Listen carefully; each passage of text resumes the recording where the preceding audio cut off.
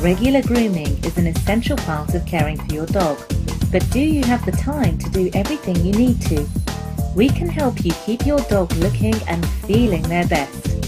A refreshing doggy bath will help keep their skin clean and irritant free and have them smelling oh so good. We can also clip your doggy's hair to prevent tangles and help keep it in tip-top condition.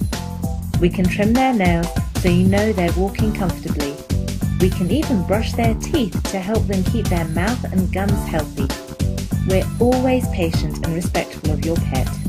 And we make it a fun and pleasant experience for them. Call us today for an appointment. Your doggy will love you for it.